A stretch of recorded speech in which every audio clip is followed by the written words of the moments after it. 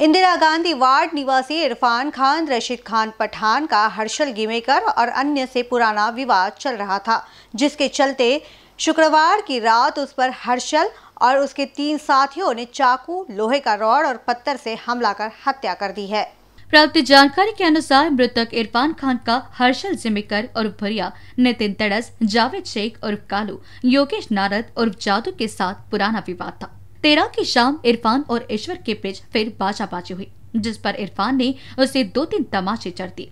इससे गुस्से में बौखलाए हर्षल, अपने तीन साथी जावेद शेख और कालू, नितिन तड़स योगेश नारद और जादू के साथ उसके घर जाने के रास्ते पर उसका इंतज़ार करने लगे।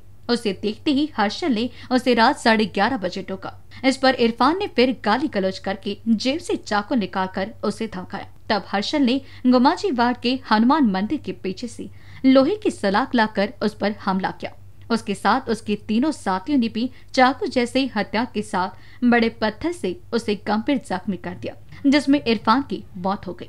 उक्त घटना की शिकायत ईश्वर और कोली पुरुषोत्तम डफ ने चौदह की रात डेढ़ बजे की।